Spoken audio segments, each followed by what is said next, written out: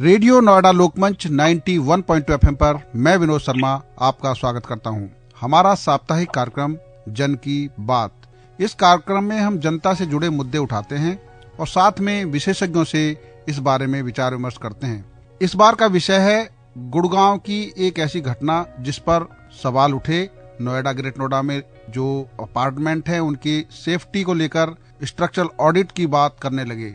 आज हमारे साथ इसी मुद्दे पर बात करने के लिए मौजूद हैं आर्किटेक्ट हरीश त्रिपाठी जी।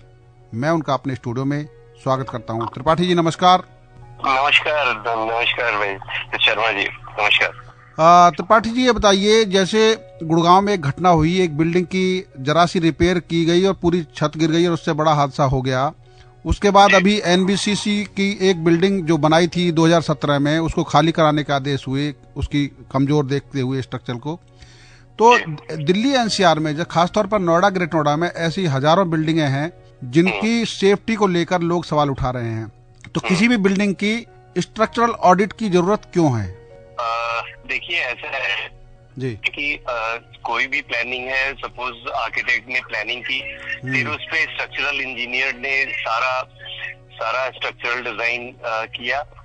और और फिर जो है कॉन्ट्रैक्ट बिल्डर्स ने कॉन्ट्रैक्टर अपॉइंट किए हाँ। और उनका अपना प्रोजेक्ट मैनेजमेंट टीम है और जो क्वालिटी देखती रहती है जी तो तो इन प्रिंसिपल तो सब कुछ स्ट्रेट लाइन है सब कुछ ठीक है हाँ। लेकिन आ, क्या होता है कि आ, मुझे ऐसा लगता है कि आ, काफ़ी बिल्डर्स पे और ओवरऑल मतलब एक प्रेशर या तो इतना ज़्यादा है जिसमें क्वालिटी एश्योरेंस नहीं या तो इंटेंशनली या अनइंटेंशनली क्वालिटी एश्योरेंस नहीं हो पा रहा है।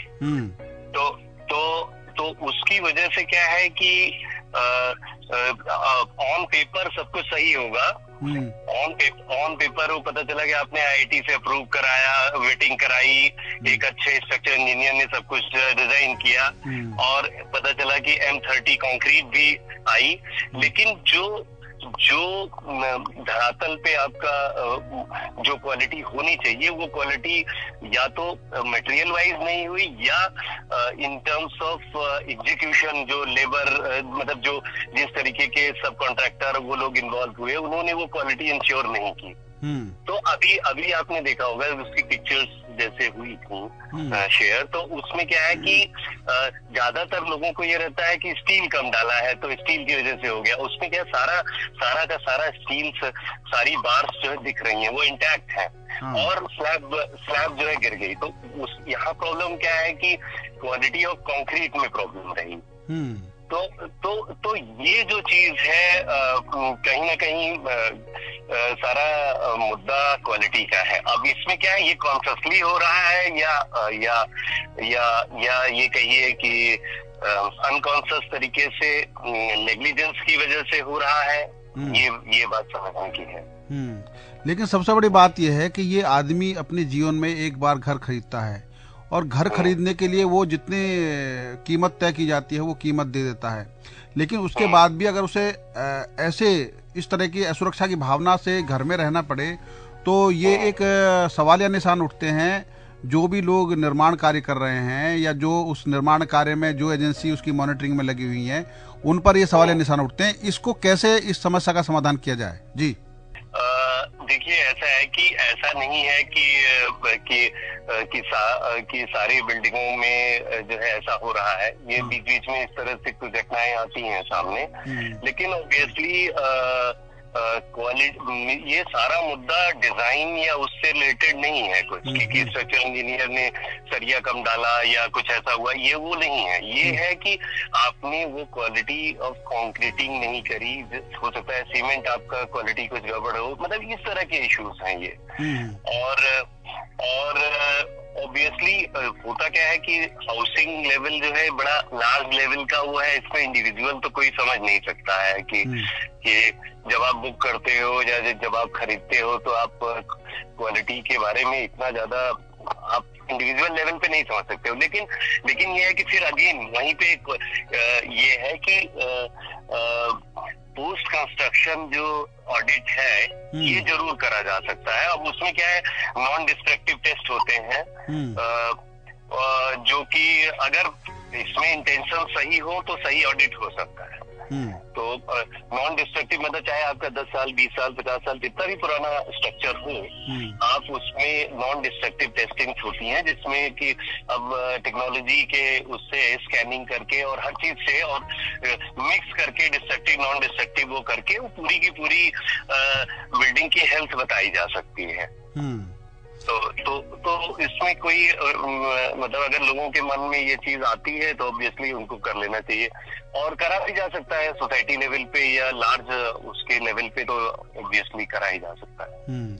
और ऐसा भी नहीं कि हर स्लैब को चेक करना होगा हम्म। मतलब या हर हर चीज़ वो तो एक जैसे होता है ना कि कहा जाता है कि एक चावल देख करके पता चल जाता है तो ऐसे ही कुछ जगहों पे अब कुछ कई टाइप के टावर्स हैं तो कुछ टावर्स में कहीं कहीं कहीं करके एटलीस्ट एक प्रेमस ऐसी समझा जा सकता है कि क्या क्या हेल्थ है। हम्म, तो इसमें स्ट्रक्चरल ऑडिट में क्या नोएडा प्राधिकरण की या जो क्रेडाई है या कोई ऐसी एजेंसी गवर्नमेंट की जिसकी भूमिका हो सकती है जिसकी निगरानी में मॉनिटरिंग में इस तरह की जांचें हो सकती है और अनिवार्य किए जाए चाहे वो बिल्डिंग बनने के पार्टली या कंप्लीशन होने के बाद जब ऑक्यूपेशन सर्टिफिकेट दिया जाता है तब क्या उसको कंपलसरी हम्म। किया जाना चाहिए या उस कैसी व्यवस्था होनी चाहिए आपकी नज़र में जी देखिए अगर इंटेंशन सही हो मतलब सोसाइटीज वॉलंटियरली भी अगर किसी को लगता है कि कुछ घटनाएँ ऐसी हो रही है या देखिए होता क्या है कि अगर आपकी कोई कोई एग्जिस्टिंग कॉम्प्लेक्स है हम्म। तो उसमें आउट ऑफ़ ब्लू नहीं कुछ होता है उसमें वो सिम्टम्स कहीं छज्जे गिर रहे होंगे तो कहीं प्लास्टर गिर रहा होगा तो कहीं कुछ हो रहा होगा तो हम्म। वो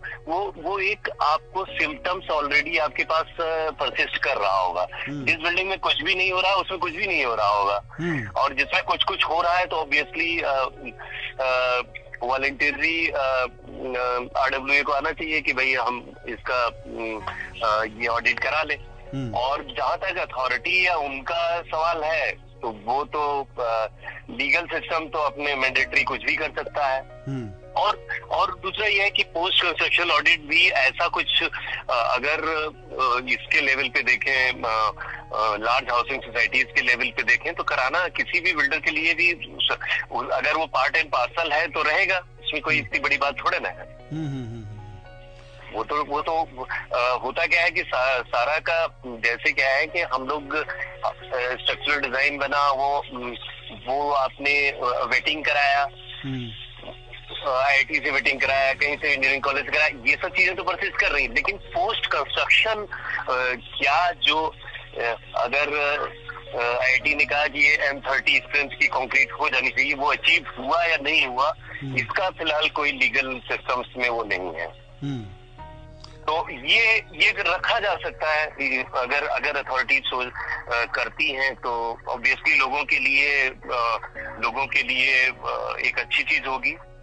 और और जहाँ तक ऐसा नहीं कि आ, अगर मेरा हाउस जो है पचास लाख का मिल रहा है तो मेरे को एज इंडिविजुअल मेरा हो सकता है पाँच हज़ार रुपया भी न लगे जो है इस तरह के ऑडिट में होने में। हम्म, हम्म, आप समझ रहे हैं ना? हाँ बिल्कुल बिल्कुल बिल्कुल। नहीं लेकिन लेकिन सवाल एक और उठ रहे हैं। सवाल ये उठ रहे हैं कि जैसे शुरू में क्या था कि नोएडा जैसे शहर में पंद्रह मीटर से ज़्यादा हाइट की बिल्डिंगें नहीं बनती थी। ठीक है? हम्म। धीरे धीरे अपर। लिमिट होगी। अब इन्होंने लिख दिया कि हाइट की कोई लिमिट नहीं है। तो अब कहीं हम्म। बीस मंजिल कहीं चालीस मंजिल इस तरह के मकान बन रहे हैं तो जो मकान बन रहे हैं तो जो खरीदा जा रहा है उनको तो ये पता ही नहीं है कि उसकी नीचे की जो मजबूती है उस हिसाब से स्ट्रक्चर उसको मज़बूत रखा गया है या नहीं रखा गया है। या जैसे कहा जाता है कि जितनी ऊँची हाइट होती है अमूमन क्या नियम होता है कि जितनी हाइट ऊँची होती है उसके नीचे के हिसाब से? विनोद जी? विनोद जी उसमें क्या है कि ऐसा नहीं है कि उस उसमें सारा नोएडा अथॉरिटी में या सब सारी अथॉरिटीज में ये है कि आपको स्ट्रक्चरल इंजीनियर इस कैपेसिटी का होगा वो डिज़ाइन करेगा फिर ये इंजीनियरिंग कॉलेज से उसकी वेटिंग होगी हम्म। और तो जो भी चालीस स्टोरी या सौ स्टोरी जितने भी स्टोरी का टावर होगा वो डिज़ाइन वो ऐसे हो ही नहीं सकता है कि आप गड़बड़ डिज़ाइन करें और खड़ा रहे हम्म। वो तो सब सही हो रहा है। प्रॉब्लम हम्म। वहाँ है ही नहीं डिज़ाइन में नहीं प्रॉब्लम है। डिज़ाइन में सारा स्टील भी सही है सारा कंक्रीट भी सही है सारा सब कुछ सही है। वो ये प्रॉब्लम सारा एग्जीक्यूशन लेवल का है। हम्म। क्योंकि होता क्या है कि जब जब कोई बिल्डर बिल्डर ने उसको क्योंकि अभी भी कंस्ट्रक्शन मैनेजमेंट इतना प्रोफेशनल नहीं हो पाया वो होता क्या है कि बिल्डर ने दस टावर है एक एक लेबर कॉन्ट्रैक्टर को दे दिया फिर कुछ मटेरियल खुद सप्लाई कर रहा है कुछ कर रहा है वो जो एक कंस्ट्रक्शन मैनेजमेंट की जो एक जैसे एक मकान आदमी बनाता है उसी स्टाइल में टावर्स भी बनाए जा रहे हैं हम्म। तो उसमें क्या होता है कि और दूसरा एक प्रेशर ये है ही कि हमें चार हज़ार रुपए में बेचना है तो हम्म। चार हज़ार रुपए में बेचना है या पाँच हज़ार में या तीन हज़ार में तो वो कंस्ट्रक्शन क्वालिटी का जो इशू है वो एक मेन इशू है और और ऑब्वियसली इंडिविजुअल के जानने की जहाँ तक बात है तो आप आप 99 परसेंट में पाएँगे कि किसी बहुत रेयर होगा कि डिज़ाइन में आपको फॉल्ट आए। वो सारा का सारा फॉल्ट आप ऐसे भी देखिए एक मकान बनाइए आपका अगर प्लास्टर गिर रहा है तो हम्म। तो वो कोई मतलब ये है कि आपने प्लास्टर को सही तरीके से नहीं किया है तराई नहीं की या कुछ कुछ ऐसा कुछ होगा लकुना हम्म। जो जिसकी वजह से वैसा हो रहा होगा वो वो डिज़ाइन इशू नहीं है। तो आप पचास स्टोरी बनाइए या सौ स्टोरी बनाइए उस उस स्टोरी की उसका सिंपल सिस्टम है ना उसी हिसाब से फाउंडेशन बनेगी उसी हिसाब से। और दूसरा ये है कि अपने यहाँ जोन फाइव है जोन फाइव के हिसाब से सारी बिल्डिंगें डिज़ाइन हो रही है ये सब। हम्म। तो अर्थक्वेक का भी वो है। हम्म। उसमें वो पार्ट वीक नहीं है। वीक हम्म। पार्ट जो है एग्जीक्यूशन है। तो एजुकेशन पर मॉनिटरिंग कैसे हो इस बात पे ज़्यादातर बायर्स जो परेशान हैं उनके लिए क्या सुझाव आप दे सकते हैं कि एग्जीक्यूशन जब होता है उस पर किस तरीके से मॉनिटरिंग होनी चाहिए देखिए बायर बायर ये इतना कॉम्प्लेक्स सिस्टम है कि अब एक लार्ज उसमें आपने वो खरीदा वहाँ पे कंस्ट्रक्शन चल रहा है आप एक ऐसे आउटसाइडर होते हो हम्म। आप आपको मुझे नहीं लगता है कि आप जान पाओगे कि कंक्रीट एम थर्टी है तो है एम थर्टी लग रही है कि नहीं लग रही है? हम्म, हम्म, हम्म। हो सकता है ये हो सकता है इवन प्रमोटर को भी ना पता हो कि ये क्वालिटी बैड जा रही है ये खराब क्वालिटी जा रही है। अब ये ये इसमें सिंपल ये चीज़ जो मुझे समझ में आई है मतलब अभी मैं भी सोच रहा था इसमें। ये चीज़ ये हो सकती है कि आ, आ, जो कंप्लीशन दिए जाए स्पेशली इस तरह के टावर्स के उनको उनका फिर एक पैरेलल मैंडेटरी किया जाए कि स्ट्रक्चरल ऑडिट होगा हम्म। और उसके लिए कमेटी वगैरह जो भी करके एक प्रिस्क्राइब हो कि ये ये ये ये पोस्ट कंस्ट्रक्शन ये ये टेस्टिंग होनी चाहिए इस चीज़ में हम्म, हम्म। और ये देखा जाए कि जो जो डिज़ाइन पैरामीटर्स लिए गए थे कि ये ये स्ट्रेंथ ये अचीव करेगा, वो स्ट्रेंथ वो अचीव कर पाया है कि नहीं कर पाया? और दूसरा ये है कि हालाँकि आइडियल उसमें देखिए जैसे बायर्स का उसमें है अगर उसमें शुरू में कुछ ऐसा कुछ सिस्टम ट्रांसपेरेंट बन पाए हम्म। जैसे जैसे क्या होता है कि कोई भी कंक्रीटिंग हो रही होती है तो उसमें आपको क्यूब्स भरते जाते हैं फिर उनकी टेस्टिंग हम्म। होती है तो हम्म। वो उसमें चाहे तो ये बायर्स को इन्वॉल्व कर सकते हैं तो उससे कॉन्फिडेंस लेवल थोड़ा बढ़ा रह सकता है स्टेज बाय स्टेज जैसे है ना जैसे आपने कोई कोई एक फाउंडेशन डाली अब, अब या कोई कॉलम जा रहा है तो उस उसमें क्या है कि डिफरेंट बैचेस के छोटे छोटे बॉक्सेस में कंक्रीट को भर के वो रखते जाते हैं उस थर्टी डेज़ में वो स्ट्रेंथ लेता है फिर फिर उसकी टेस्टिंग होती है। तो ये पूरा प्रोसेस आइडियली तो ये प्रोसेस पूरा जो भी बिल्डर है वो कर रहा होता है हम्म। या एक्सपेक्ट किया जाता है कर रहा हो मतलब करेगा वो हम्म। उसमें बायर्स को इन्वॉल्व किया जा सकता है। हम्म, हम्म, हम्म। कि कि आप शुरू से अब हालाँकि वही है कि इंटेंट इंटेंट तो ज़रूरी है सही रहना। बिल्कुल बिल्कुल। आपने रेडियो नोएडा लोकमंच 91.2 एफएम पर बात की और उस गंभीर इशू पर विभिन्न आयामों पर चर्चा की। इसके लिए आपका बहुत बहुत धन्यवाद Harish Tripathi ji. Thank you Vinod ji thank you नमस्कार। अभी आप सुन रहे थे आर्किटेक्ट हरीश त्रिपाठी जी से उस घटना पर जैसा गुड़गांव में हुआ और चिंता नोएडा, ग्रेट नोएडा के बायर्स की।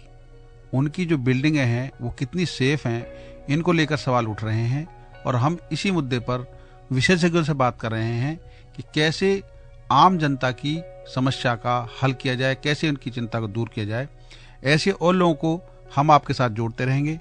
आप सुनते रहिए रेडियो नोएडा लोकमंच 91.2 एफएम, आपकी अपनी आवाज़। धन्यवाद।